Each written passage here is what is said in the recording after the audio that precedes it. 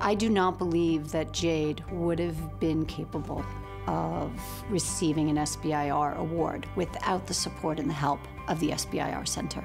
I often get asked by my employees is if it's worth it to keep applying for SBIRs. Matter of fact, we just won an SBIR this last month uh, where the employees thought with the government sequester there was no chance of the government ever awarding uh, an SBIR. And yet we won it.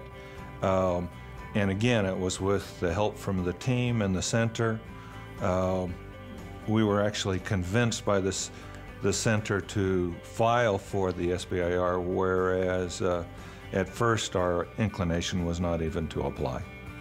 At the SBIR Center, we work with clients who are just beginning with the SBIR process and folks that have been working with this process for some time.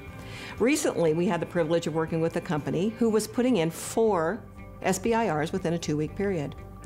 And they called us and they said, We're going to need a little help. Can we send you two? Absolutely.